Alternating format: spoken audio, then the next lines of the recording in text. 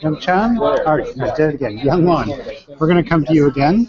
Yep. All right, at this point? Great, okay. All right, so could we move toward the section here of the program? Right. Your attention, please. Um, and the names here are up here on the wall. So Paul O is going to fill in. Actually, you know what? I, He's going to start. Young. Young, Young Wan is going to start. Yeah. So, so let's get Young Wan in. Yeah, he's going to get here, and then Joe will talk a little bit, and then Paul will fill in anything that we left out. Um, so um, basically, we want to have people introduce themselves and then say what this program is all about. Let's. Is that enough? Go ahead. Yeah, that sounds great. Can everybody hear me? We can. Okay, great. Hi, everyone. My name is Youngwan Choi. I'm here in Oakland, California, and uh, working on the Educating for Democracy in the Digital Age initiative. Um, and I just give a little bit of background on our project, um, which is um, to say that uh, I think it's really inspired by a desire to address um, what I like to call the civic empowerment gap. Uh, and by that I mean um, in our um, in studies of schools nationally, we've seen that um, students of color and poor students have really reported um, fewer opportunities to ha- have access to a civic education or civic engagement opportunities uh, in school.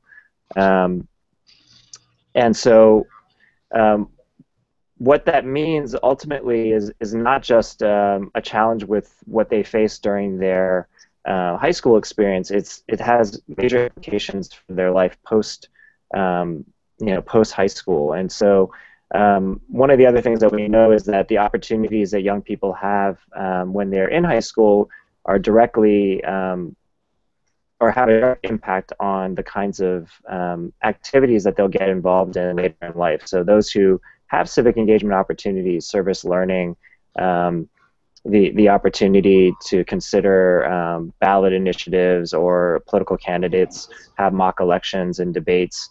Um, that these kinds of things lead to young people um, participating uh, in political and social change later in life. And so, if we're not providing those kinds of opportunities across the board to all students, then uh, what we're doing is we're simply replicating the social and political in- inequities that we see in our society. And so, uh, particularly here in Oakland, given who our student population is primarily, um, you know, we have a lot of students of color, a lot of um, students on free and reduced lunch. Uh, this kind of initiative is absolutely essential because what we're saying is that uh, we want to provide these opportunities for all students, uh, not just so that they have them in high school, but so that they develop a kind of civic identity that leads to political and, and social participation uh, later in life. So that's kind of the inspiration for the work.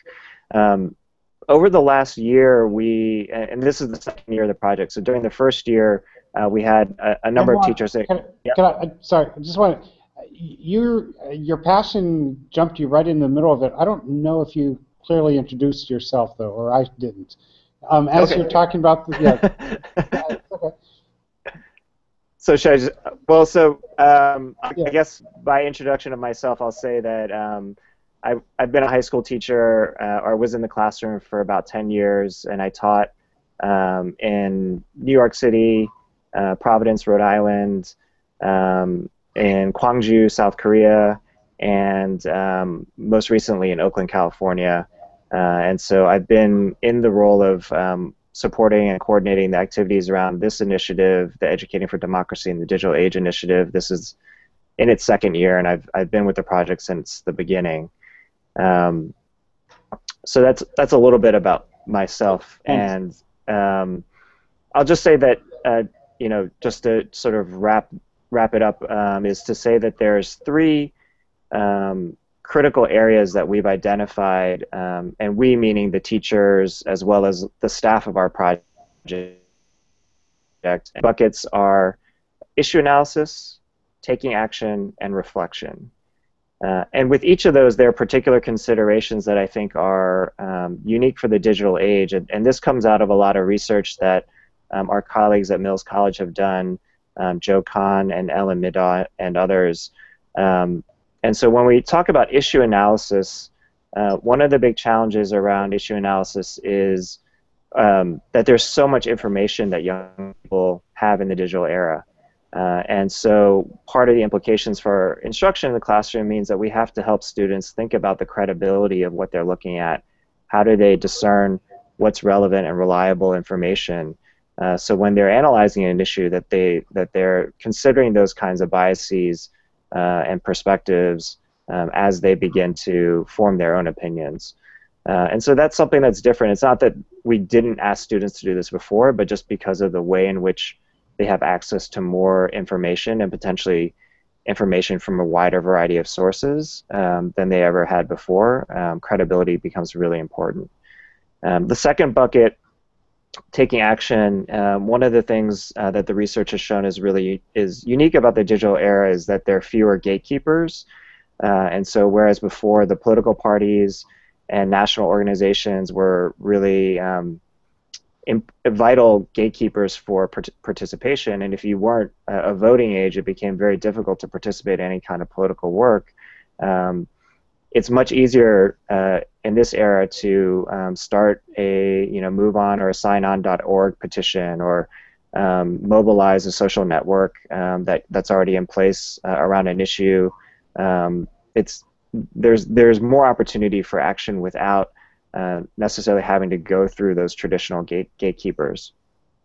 And then finally, around reflection, um, one of the things that we know about young people these days is that they that they tend to put a lot of things about themselves online that um, we may not have gone public with in the past. And so what whereas um, I grew up writing in a journal that I never showed anybody, um, you know, students write on blogs or they write you know, uh, on their Facebook or Twitter or Instagram, uh, and they're reflecting about their lives or they're posting about their lives, but it's in a very public way and it has a significant digital afterlife. And so this also has implications for when we ask students to reflect on their learning, um, both that there's opportunity because public reflection allows for dialogue uh, and for developing deeper reflection, but it also has particular challenges.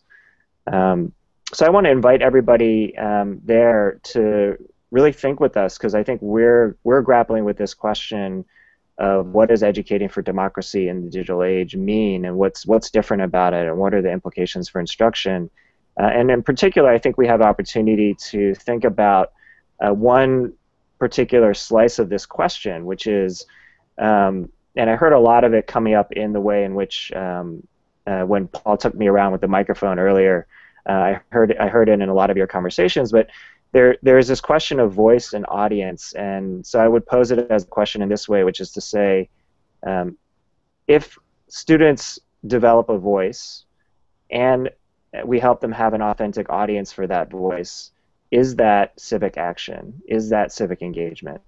Um, and I and I hope that we can sort of revisit that question over the course of this session. Super. Thank you so much. Oh, and sorry, I should also say that um, Stan Pesek and Paul O, who are, uh, I think both of whom are in the room, uh, have been really critical in this work. Uh, and so if they're there, I'd love for them just to wave and say say hello, so you know that we have we've infiltrated uh, inside of the session as well. Cool. And Joe, are you still there? Mm, somehow. Okay, we'll figure that out. Oh, you are still there. Good. I am right here. Hi. Oh, good, good. Okay, good. I want to make sure. So, um, I, I want to encourage before Paul talks. Um, want to encourage anybody to say, I have this burning question I want to ask right now. Um, please let us know. Does anybody have one you'd like to ask right now? Already? No? Okay. So. That's good because I wasn't going to answer it. I'm. Uh, I, I really want to talk. So uh, it's great to see Joe and Young Wan and your your youth, Joe. I also did want to point out that Stan Pesek, if he could raise his hand, is here. So Stan actually could talk more about uh, this project. Um, Stan's, Stan can introduce himself. Um, I'll just say that I work for the National Writing Project. Um, we're based in Berkeley, and our role in this project uh, is to really think about the um, the affordances of the digital possibilities, um, the the the ways in which the digital is having an impact on what does it mean to be um, civically engaged today. So uh, in a general way, that, that is our role. And I just wanted to quickly say a couple of things. Um, one is that uh, in relation to the the, the three buckets um, that Young Wan talked about, I think holistically, what's true for young people, um, we see this in Oakland, and I'm sure you see this in your school districts, is that um, you know our youth are are crafting online identities, and I think uh, you know one of our questions um, as well is what does it mean to uh, for youth and young people to develop um, civic identities uh, online um, and in online spaces. And uh, that's actually a question that is also really that, that's being taken up by um, a network that involves some of the people from Mills College, uh, the group that we're doing this work with, um, but in a broader sense. Um, so if you, so who, here saw the plenary this morning with Henry Jenkins? Um, great. So this notion of participatory culture is actually also informing um, this broader conversation that we're having with people like Henry Jenkins, um, with uh, Howard Gardner, um, with other groups uh, facing history and ourselves um, as part of something called the Youth and Participatory Politics Network. Uh, and, and that work um, has this broader context that, um, of which the, the Educating for Democracy in the Digital Age work is uh, sort of an instance of. And there are several projects like this around the country. Um, and we're, as part of YPP, we're developing this you know, broader framework to think about well, what does it mean for youth to engage in um, politics today? Uh, so I just wanted to give that broader framework and, and really explain why the National Writing Project is interested in this work. Um, it's for all the reasons that Henry talked about and the, the plenary people talked about this morning. Um, and it is really about uh, this notion of, in a very funda fundamental way, um, you know, what is the, the, sort of education, what is the kind of, uh, what is the kind of um, person that we would hope would come out of our experiences, both in school and out. And I think that's the other piece that I just wanted to add to what Young Wan said. You know, our project really does, um, this Educating for Democracy in the Digital Age project really does see that, you know, with the affordances of the digital, uh, learning happens all the time. I mean, that's true for us and that's true for our youth.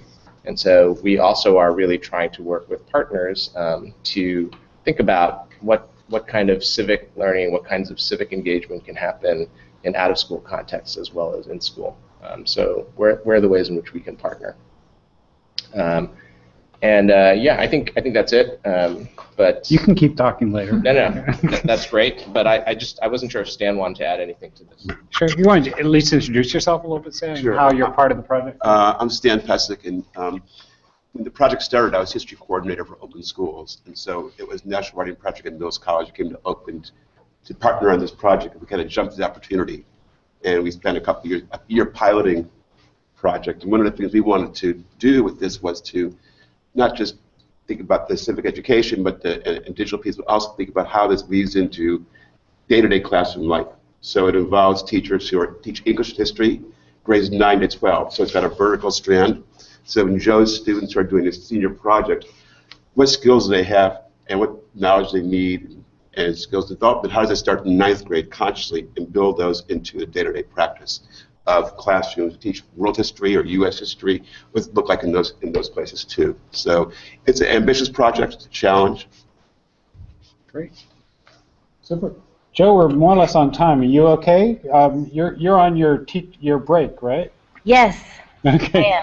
You still have more time to practice, I hope? I yeah. do, I do, I do. Now it's on my conference period. I have a few students okay. in the room, so. Um, Thank you for giving us your conference period. I really appreciate No worries. This is fun. This is always fun. So, um, in terms of introduction and the work we do, uh, yep. gosh, is that the question? Start with yourself. Myself? yeah. Complicated self. Okay, uh, let's see myself. My hero, how about that? My hero is Yoda, and so I take all advice from Yoda, which is great. Um, but I am I teach in Oakland. I live in Berkeley. I have three children, uh, two of whom are teenagers, uh, one who is a kindergartner. So a lot of my um, what I care about in the classroom in terms of digital literacy stems from just being a mom and understanding that the world out there is really crazy, and then seeing that in my own house and, and having to deal with that as a parent, um, that definitely gets carried into the work as a teacher. So that's me, and then how the teacher part of me is, it's I don't know, it bleeds back and forth. Uh, so the work we do here, and I, I teach senior English this year. I have looped with one set of my kids, uh, so this is my second year with them, and it's it's absolutely wonderful. In one respect. And then I have another uh, media academy class that I teach, and then I teach AP class. And so that's my teaching line, gentlemen. And my kiddos are excited. They're over here. Um, and right now I teach. I have two functions. I teach senior project, which is a graduation requirement, and I also teach uh, senior English, and we study third world lit. And a lot of the theme, themes that run through both, uh, this theme of social equity and change, uh, we we practice skills, we practice lens questions uh, that then apply to both. So the kids, they're feeling two graduation requirements, but the skill sets are similar. What I love about the digital literacy aspect, though, is that they can publish their work so authentically and in the moment, like they did today, and get and just have conversations with people and make connections and see how their work in the classroom then, where it can apply, who it's important to, um, outside. And and it's it's it's truly amazing when we can get out of the bubble of our own classroom. So teachers in the room, you know that it, it's it's we we operate in a bubble sometimes where it's difficult to do that. Um, and the kids just they loved it. That whole experience this morning, you guys don't know what that what that'll do right now for their senior project, and it, it gave them a boost that they really needed just to notice, to know that there are people out there that do care about the work they're doing in here. So that's a lot of what we, uh, where I go with the teaching is how do we get, um, how do we get exposure to the work, uh, and how do we get the kids to understand that their voice is very important. Um, and we do that through blogging a lot, but we do that through through a lot of other methods. Um, and I love it that the people in the room that I know, Stan, Paul, Youngwon, um, and Paul, uh, they, they, they really push that we share our work as teachers, um, which has been very important, especially in the last two years. And a lot, all of that's been very virtual, digital. So it, it's amazing. Can, can you break that down a little bit? Because Which you've talked other times about leadership and moving into leadership roles because of this project. Oh yeah. Um, so wow, that's been that's been interesting. Um, so not at first I didn't understand. I, I felt like we were breaking ground in the classroom um, with some of the practices we had. So blogging as like a routine, but I didn't understand that a lot of other people who yes are professed tech tech geeks like myself, like how do they how do they bring that into the classroom? I didn't I didn't know that they weren't doing those those things or they were they were challenged there because it's it's a, it's a lot of who um, I am to, to, to have a device and to be to be savvy like that. But it's also um, when it comes to the students and understanding like that's where they are at as well. Uh, you got to talk about that in, in, in your with your PD teams, with your teachers. How how do and we always talk about how do we form these connections, and and and we talk about how how do we get how do we vibe with the students more so that they understand that the learning is relevant, and that's the bigger question and one of the aspects, one of the ways it's, it's addressed is through technology and through active engagement with the community. And so in terms of leadership roles, you know, a lot of this work that we do here is it bleeds into a lot of the other PD that we're doing at the school when it comes to, say, um, equi equity-based teaching, when it comes to curriculum design through and, and, and improving the rigor. It, it does, it factors into that. And so I've just started to just, not just working with teachers at my site, but, but feeling a, a, stronger voice in this community, this digital learning community of teachers that are trying new things. Um, but also in, in my with my own students, because we're on the same journey, it's it's we it's watching and being a part of something as a teacher where you don't necessarily have to you're not leading the classroom. They are all all of the students we have this culture here now of a, of collaborating on things. And so I don't always have to be a leader. It's it's amazing. And then a and I think that that's that's been the best part of it all is that the students are just they take over a lot in a very positive positive way. Uh, and so when I can say that to people, to other educators, and then they can feel that, it, it's it's that that's where I feel like okay, cool. Like this this whole taking on a different role as a leader, it doesn't hurt. It's not too it doesn't freak me out too much. But it's been a different year this year because of of, of it all. So little conversation. Who wants to throw in here? Yeah, please, somebody else talk. Cause I just feel like I went on and on. Hmm, no, it's fine. Uh, I have a But don't be shy. Chris Sloan. Hey, Joe. Um, you know how my s- my students um, comment a lot on yours. Yeah. on Um, youthvoices.net. by on Youth Voices. Which we're going to get to. It's only on little yes. youthvoices.net. Can Yes. you talk about maybe how that does? Do you see that conversation um, helping them as thinkers and writers, and maybe how uh, that plays out in your class? Yeah, I do. Um, a lot of the topics that my students are bringing to the table, because half of their blog postings are about their senior research and it's about equity topics in communities that run deep. So we can talk about, you know, maybe police brutality. Uh, you heard some of my, my other kiddos with, you know, child marriages, things that are very real to them. And what helps in the thinking is not just, it's connecting with somebody else who's far away um, so understanding that there's a world beyond Oakland, which is very big for them. Um, and when they are prompted to question what they believe, and it comes from a peer, that is very valuable to them. So oftentimes, you know, I have teachers that would respond back to the students in their blogs, but the students value the other students and those words more so than they do um, the grown-up in a way because the kid that they're talking to knows where they're coming from on a developmental level like you know just just knows what they're feeling and they can say it in a way that you know i think i'm cool and can say things a certain way but the kids can talk to each other and so yes it does push their thinking. And you know some students get you know 10 to 12 comments uh, off of one posting. That's very powerful stuff when you've gone through many years of your life not not thinking thinking that people don't listen to you, and then suddenly you've got gobs of people listening and saying something back to you. Um, even if that dialogue doesn't continue, uh, back and forth, back and forth, uh, there's this action of somebody responded, and so then my students are then more prone to respond or, or think that that's important. Um, so it helps them with the issue they're posting about, but it also just helps them in, in, in terms of a skill of learning how to listen.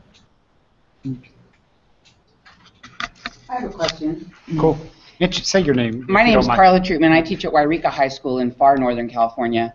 Um, and my question is, in the blogs and where students are responding to each other, um, how do you teach them the proper way? And I don't even know if that's the right terminology um, to respond. Uh, the, what brings this up? We just had a huge issue with our dance contract at our school, and there was, you know, kids were very vocal in what they thought the dance contract should be, how they thought that should be navigated. And to me, that's civic engagement. That's a concern for our community that kids are really engaged in. But the language usage that they had um, kind of minimized their argument. And, and that, that process of teaching kids how to interact civically, I wonder how you guys have, have navigated that. Well, we can say, I mean, Joe, you can talk to that too, but we can say very quick, we're going to spend uh the last 20 minutes here um, Mhm. looking at that exactly. So, Great. great, yeah. you will do it. So thank you for asking Thank that you. question. And- But other thoughts? Oh, well, I just want to add, before- um, yeah. in response, uh, that, that Chris Sloan actually wrote a piece at the Digital Is website um, that is about this notion of civic um, dialogue in online spaces. And actually, you know, it's a, it was a complex piece, but, um, or a complex story, but uh, we should definitely share with you That'd be the, the link to that. Other questions, points that you wanted to get out here in the room? Anybody? Yes. I'm Your. Barb, Yeah, I'm Barbara, and I teach in Idaho. So my question is, is our sophomore lit is now called World Lit, which is what I'm hearing is your senior lit, and then you talked about calling it Third World Lit, and my, of course, my community would actually have a cow over that. I'm serious. It would be the end. Idaho. Northern, no, northern, up by Canada, yeah. And, you know, as far as the civic, you know, and she tried doing it, you know, an eastern, an eastern section um, of the lit as a sophomore teacher of mine, huge blowing up, you know, as far as like, oh, they're actually reading from the Quran or they're actually reading from whatever. And as far as, you know, how do you deal with that as far as being civic? I mean, this idea of a, a world citizen, they also had a concern about we're not members of da da da, we're United States. I mean, that's, we're United States citizens, not blah, blah, blah. That's the issue we're seeing. Joe, you have any response to that? Um, I do, and that's that. That goes back to that being part of, of the networks of, of being and being in the forum like this, being able to hear what the experiences are of other educators around. I go back to Oakland, and and that is what we need to talk about. Um, that is what our population wants to learn about. So when I, and I say third world, that we're you know we're basically looking at um, what what they what the people that they look like have gone through. So in terms of addressing, um, in terms of that concern, I guess I'm I'm spoiled. I'm going to put that in super air quotes. Uh, that I don't. I can I, I can talk to those texts. I, I can talk with those texts with the kids. And um, I do have to keep in mind, though, when I tell the kids, you, you are lucky that we get to study this, because there are other places where, um, uh, forgive me, uh, where it's only canonical dead white men literature, and, and it's it's it's read that too, but but they should know that they that this is this is we are trying to use the literature to, to, to get them to connect, and that's that's that's where I'm that's what I'm saying right now with them. Um, so I really haven't had to address that much that that aspect here. We we teach, uh, yeah, because I don't know. I'd be denying my entire class what it means for them to be part of a, a, a citizen citizenry um, because they are constantly excluded. Um, so that would be my answer for the folks that would say something. I, I, wonder, I wonder if Young Juan has a thought Yeah, I was, about I this. was going to say the same. Yeah. Anything that's gone on in the past uh, half hour, you've been out there listening. Anything you're thinking right now? Um, well, I mean, I think that that's. I don't know if there's a particular point you want me to address, Paul. Uh, Paulo, I don't know when you when you were asking me to come into the conversation. Well, I just I just wondered if you had a thought about this notion of um, you know what what what does it take uh, I guess to to alter curriculum in the way that I think you're describing, um, and to be able to do that in a way that um, you know I suppose both honors the the interest in the community, but also you know broadens those perspectives. Right. I mean, I think this is a tension that we um, think about a lot within our project, which is tension around, um, you know, leading from student interest and also expanding student interest. Because I, I, I think that um, on the and and I think, you know, I don't think what Joe is saying is just is that you know we're only going to teach the things that are you know that come out of the community that are directly written by people who look like the students. Um, I think that would be very uh, limiting, both in terms of their exposure to, to different kinds of ideas and perspectives, but also in terms of their access to uh, the canon, which I think does have you know huge relevance when it comes to you know social capital and and and being able to navigate college and that sort of thing. Um, so I think that we're we're we're looking to strike a balance, you know, and I think every teacher has to figure out that balance in their own classroom of like how much um, do we you know how do we how do we honor and recognize our students for who they are and what they bring to the classroom and their life their their history their culture their traditions their life experiences uh, and in oakland that's not a uniform thing. That's a really multifaceted um, set of you know set of experiences. Um, as you could tell just from seeing the student from yemen who was in joe's class as well as um, you know just getting a quick little snapshot there. Um, but at the same time, how do we also um, help them to be aware of the, the broader world? And I think you know what Joe's talking about in terms of the blog is is an opportunity to see and interact with people outside of Oakland. And I think we get really insular in not only in our classrooms but in Oakland, in our sort of liberal um, bubble over here. that uh, and I think that we don't. Um, we have an opportunity, I should say, through um, these kinds of networks like Youth Voices to, to broaden the conversation, to have our students begin to consider what their ideas mean in relationship to other people, uh, and not just the people that they spend um, time with face to face, but you know, what are the implications in, in a global world and, and, and nationally. Can, I just add quickly? Um, one of the things that I think a number of teachers have been talking about uh, in relation to issue analysis is this notion of bias and perspective. And I can imagine that. Um, so, so I, I, mean, I think that that means a, a, lot of different things in different places. But I think it is, to me, a legitimate point of inquiry. You know, so so what is bias? What is, uh, you know, what? How, how do we understand different perspectives? And what are the texts that are going to present, you know, these opportunities to understand bias and perspective?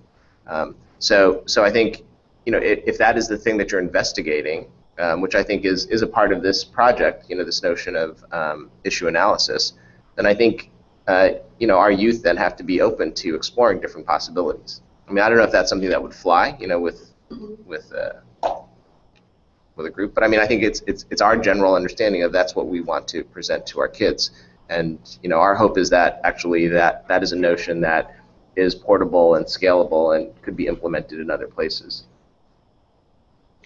And Stan had something. Yeah, When I talked about reading this in the, the classrooms on history, considering multiple perspectives is at the core of the discipline, right? You have to look at multiple perspectives, and how do you, how does that, learning that history help you take those skills and apply them outside? Um, and democracy requires you to cross cultural boundaries, pull on your own, what you know, but also to cross cultural boundaries. So when you say you can't teach these certain texts, it makes me sad because those students aren't going to be engaged in democracy way we envision it, that kind of crossing boundaries. Okay, so uh, when we were planning this, we wondered if we would get through this whole thing and never say what Youth Voices was. Um, and we have done workshops like that. So I want to take a minute to, to say what Youth Voices is and then give you some experience in it. Um, and um, by showing you some of Joe's work, which is all around, Joe's students' work, sorry, which is all around the room here. Chris Sloan here, and I started, um, um, and, and some others. Um, uh, in the National Writing Project started Youth Voices now 10 years ago. Um, we've been on different platforms, um, and we are delighted to be where we are now. It's a pretty secure place, and we, um, in the middle of the table, you will find lots of cards. Please take all of them if you'd like to, and this one will show you how you and your students can sign up. That's one very important thing about Youth Voices. There's uh, hopefully a pretty low point of entry. But more importantly, one of the things, and Chris can talk about this as we go perhaps too, but one of the things we learned really, really fast is what you were saying, uh, I'm sorry, about, uh, about responding. Um, and um, we spend, if it's fair to say, we spend a lot of time on commenting. So my students comment uh, between four and eight times before they even post the first time, right? So learning how to comment on a social network like this is really important. There are, let me just say a little more, there are about a dozen. I, I come from the New York City Writing Project. There are about a dozen schools in New York City that are on the site and about a dozen throughout the country. And, you know, more and more um, all the time. Um, and we're really happy that Joe and her students and some other folks in Oakland are coming on as well um, as, as we go. We can answer some questions. Um, want to give you an experience of it, though, if we can do that. Uh, and we use these differently. I'm just going to own this part of it. Chris, as Chris's students maybe don't use the guides as much, I think, in some cases, but in the middle of the table is something that says on a general discussion response. So this is an activity that we want you to do, and then we'll talk about it. Fair enough? Okay. Um, and uh, so Joe's students, one of the things that she has them do is write this really, I, Joe, this isn't going to put that at all, but a really tight kind of five paragraph thing where there are five things they have to answer about their project at the beginning. And they post that on Youth Voices and kind of get a response. And those are hanging up around the wall. So what we'd like you to do is get up and uh, get some energy and find a post up there that you would like to respond to, and it's not going to be fake. We really, really want you to respond to that student, okay? And we want you to use this guide to do that. Um, these guides, I'll say very briefly, are obviously, they look like fill in the blank at first. But if you look a little more deeply, they're just very structured, kind of rhetorical structures that we ask students to do um, and guide them in in responding, they can let go of the details as soon as they kind of understand what they're doing. We're asking you to choose either the first one, probably this one on top, or the second one here. So you're in task right now, and we'll do it in hopefully 10 or 15 minutes, so you might not finish, but at least start. And find a question that you think is interesting or important or that you would like to respond to, and sit back down and do some writing to that student. If you want to do it right on Youth Voices, you can. If you want to do it on paper first, you can do that too. Okay, we'll show you how to find it. You can search for the title is one way to do it. So first you need to find one, and feel free to peruse and look.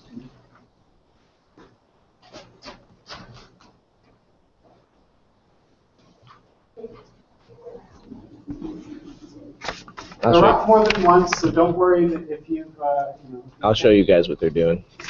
if you pick one, somebody won't be able to do that one too. Uh, Oh, you got some students there? Go ahead. We can, we can do both things.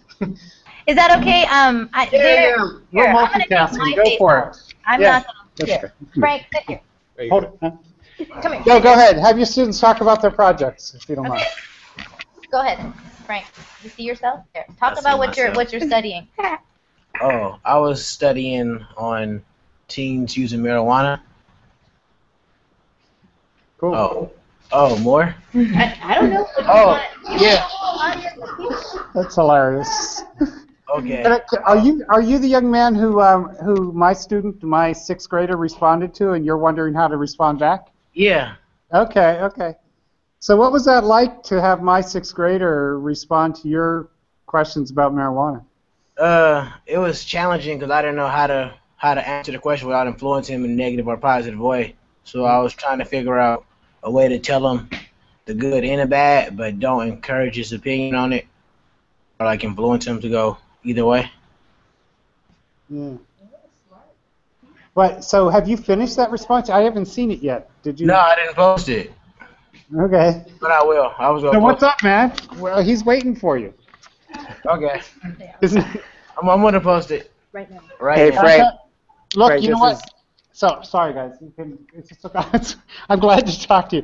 Um, his name's Devante, and he's um, like he has. Uh, I, I think it's okay to say this. He has issues in his family, right, around drugs and stuff. And he recently, in his art class, and he just put this up on Youth Voices. You might find it. Um, created a superhero um, who, when that superhero cries, um, he gets energy all over his body, right? And Devante is somebody who is hard to control. He gets energy all over his body all the time. So, and and what that what that superhero is trying to respond to is um, people taking drugs in the community. So, yeah, just to add to your burden here a little bit. Yeah, I'm a, now I really gotta think about how I'm gonna respond to him. Yeah. I, Frank, I, this is Young Juan from Oakland, um, and uh, I had a question for you, which is, um, what makes you?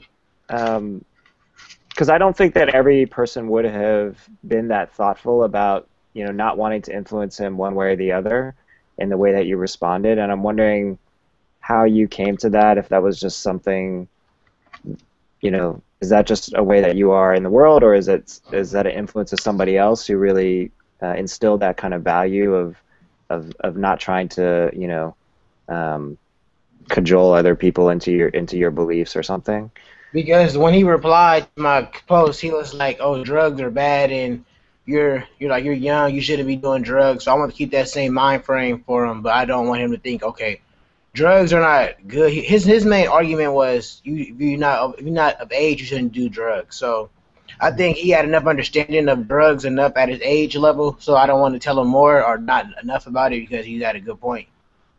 He's like at a point where he's he's oh, he's aware, but he's not too curious about it. Mm-hmm. Yeah.